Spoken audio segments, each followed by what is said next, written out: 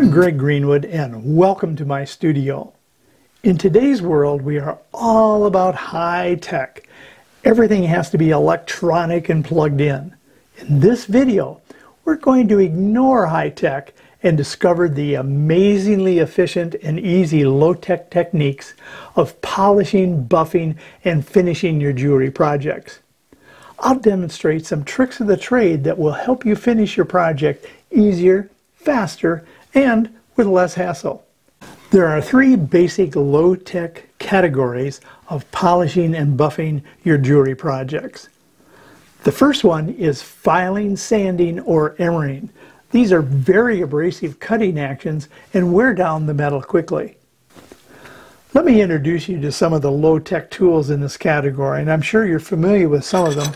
And of course, the first one that is the most abrasive in this category is the file. There's all different types of files, uh, different shapes, sizes, uh, and, and teeth sizes on them. And we'll do a whole video on files someday. Uh, but uh, these are the most abrasive in this category, but they will shape your metal and but leave a lot of scratches on them. So we have to be aware of that. Uh, and our next tool in here is emery cloth and emery paper. It's an emery grit that's been uh, put onto the papers and cloths. It's just like sandpaper, uh, but it's an emery grit, which is a real good grit for uh, sterling silver and any of the other non-ferrous metals. And so this we can work our, our metal down and again, but it will leave lots of scratches.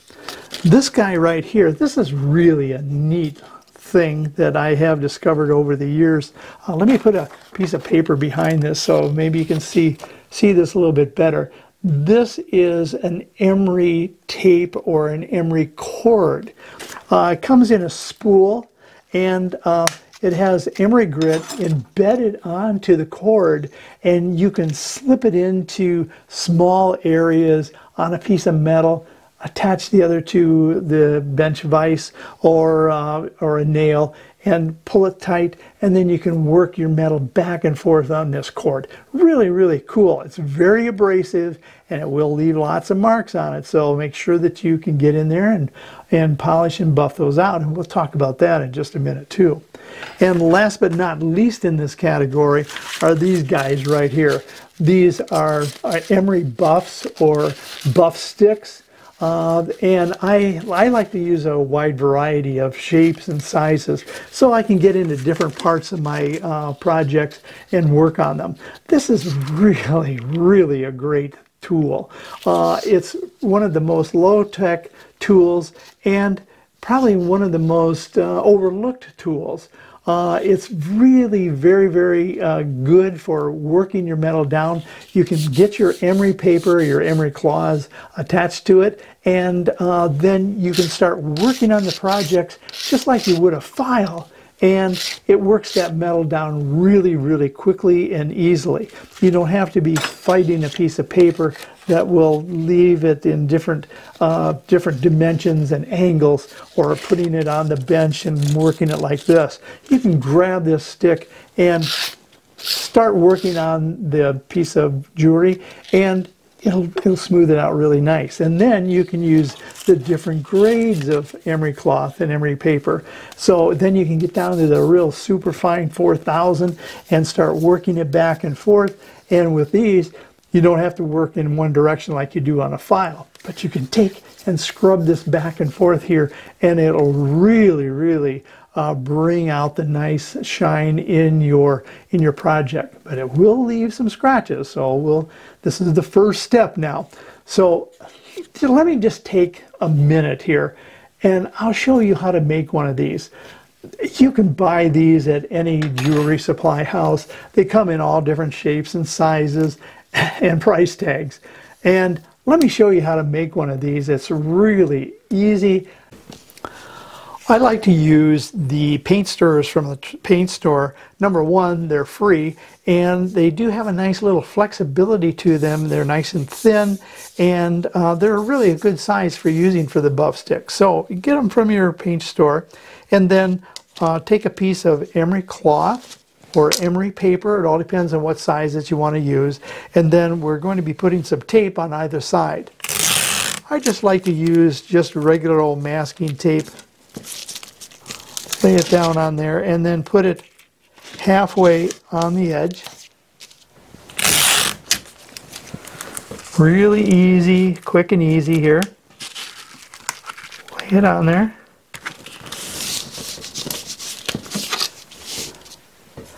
Then lay your buff stick on the edge and then you want to take and score it with a utility knife along the edge where it's going to bend over.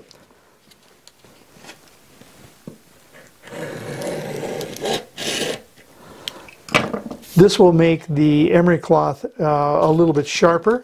So then just lay the masking tape over and bend it over once. And then go ahead and score it again. You don't want to cut through the emery cloth or the tape. Just, just score it and then bend it over. Make it nice and tight in here. Go ahead, score it again, roll it over, score it again,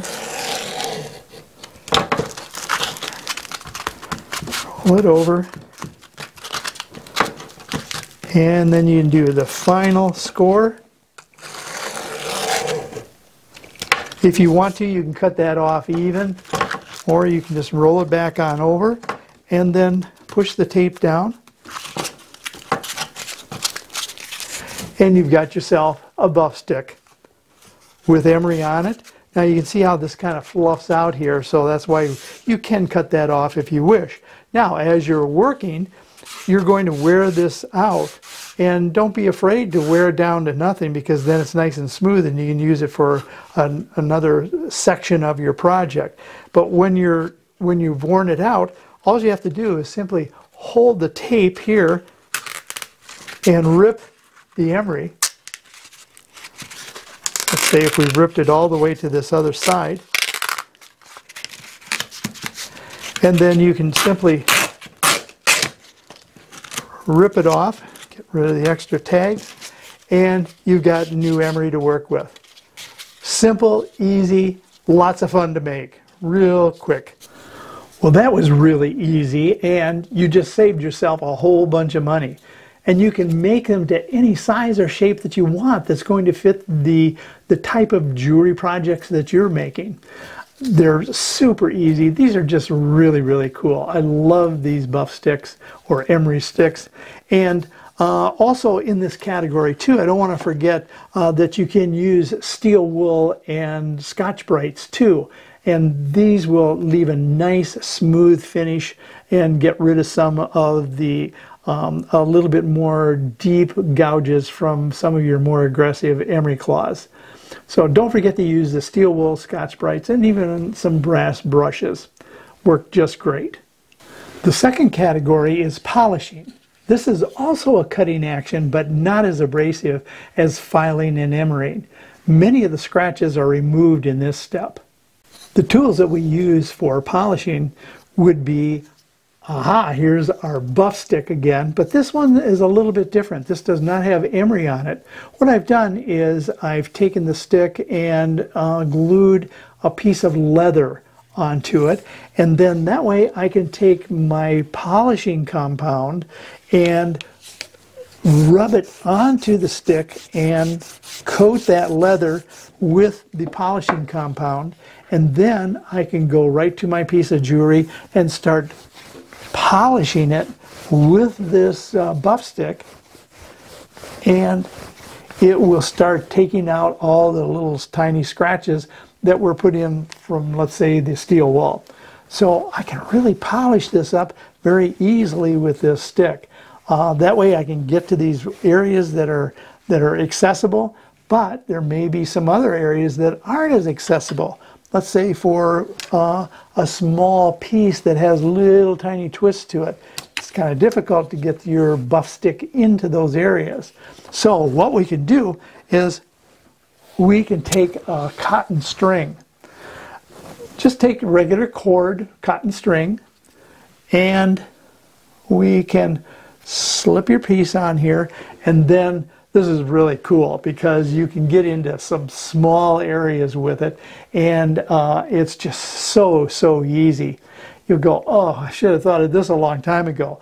But take your polishing compound and start rubbing it onto the string and putting a good coat of polishing compound on there.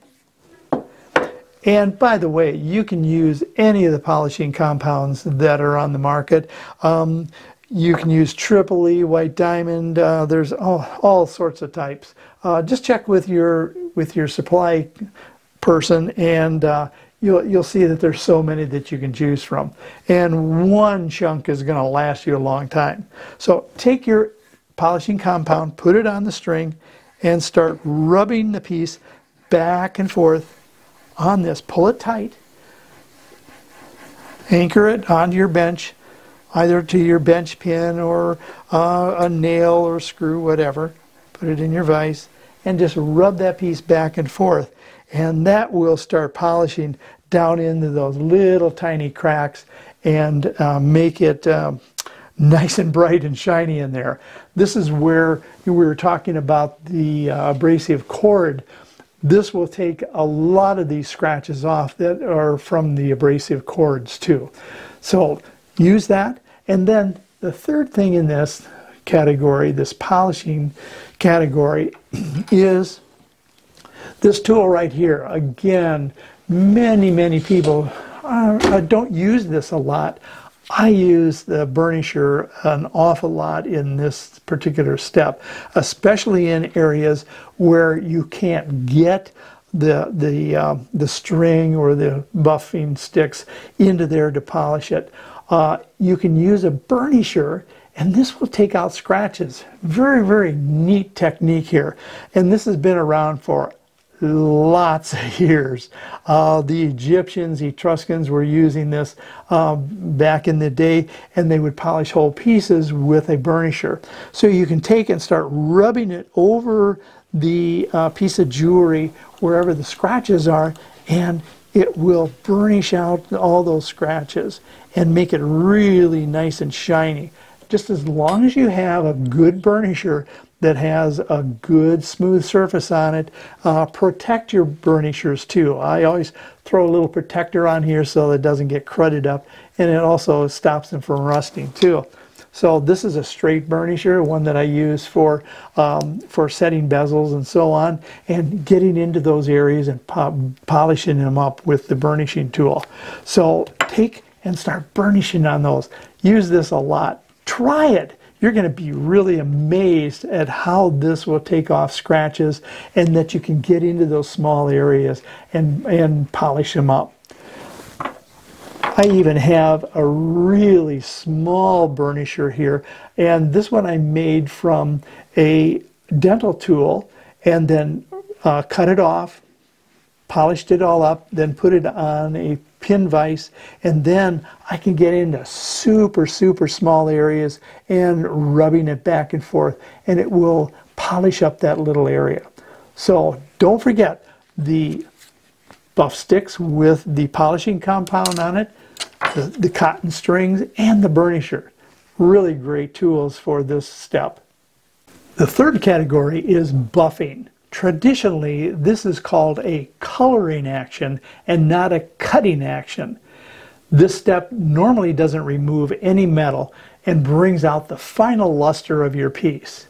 The tools that we'll use in this buffing step are all based around this. This is Jeweler's Rouge or Red Rouge. This is a the coloring action that I was talking about and we'll be using it on our good old friend the buff stick. This again is a little bit different than the other buff sticks instead of the emery or the leather. Uh, this has some felt on it, a nice and smooth uh, felt and again you apply it the same way as you did on the polishing sticks. So we'll take our red rouge and we'll rub it onto that felt and get a good coating of the red rouge onto that and then we can take it to our piece and start bringing it up, buffing it up and bringing up that high luster with the jeweler's rouge. Again, we can use a cotton string too to get into those small areas. Just simply again, rub the rouge on your cotton string and then finally uh, the rouge cloth. This is a commercially made rouge cloth and it has the rouge on one side and then the other side it has uh, a nice smooth cloth that will help also to bring out the high luster in the piece. So you simply just open it up, put your piece in there and start rubbing it by hand. And it's amazing how well these, these uh, buffing and polishing cloths work. Just rub it down and boy, it just really brings out the nice high luster in your piece. So again, using the jeweler's rouge or the red rouge on your buff stick, your string, or the cloth that's already embedded. And these are not very expensive. Uh, purchase one and they'll last a long time for you. By using these low-tech polishing and buffing techniques in each of the three categories, you will advance the quality of your jewelry without having to plug in any expensive equipment. Also, it's really cool to know you are using and carrying on the traditional jewelry techniques that have been around for hundreds of years. I'm Greg Greenwood, and I hope you've learned from this video. Please subscribe, and I'll see you next time.